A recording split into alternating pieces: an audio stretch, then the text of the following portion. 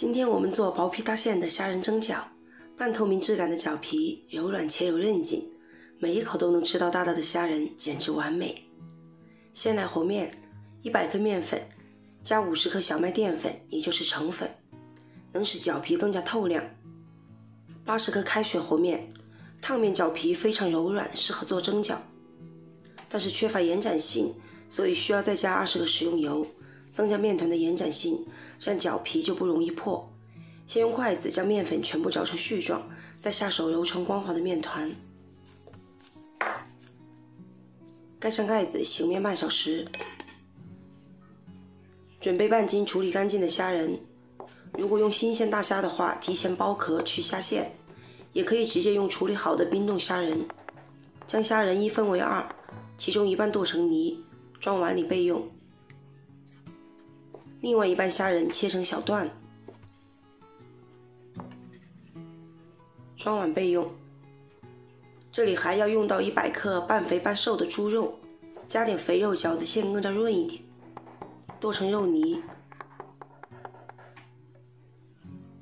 和虾泥放一起，加一大勺生抽，一小勺白胡椒粉去腥，一撮姜粉。或者用新鲜的生姜碎也是可以的，一勺食用油，适量的盐，用筷子朝着一个方向搅打上劲，直到肉泥和虾泥混为一体。加入之前准备好的虾段，搅拌均匀。醒好的面团再揉一会儿，揉得光滑一些，滚成细长条。切成大概十六个小剂子，撒上面铺防粘，剂子按扁，用擀面杖擀成薄片，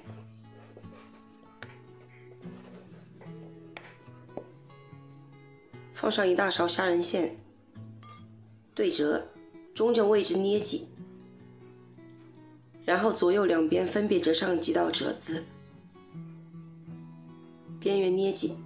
简单又好看的月牙饺子，或者你觉得其他包法比较顺手都可以。这么大小的饺子刚好包了十六个。水开后上蒸锅，大火蒸十分钟左右。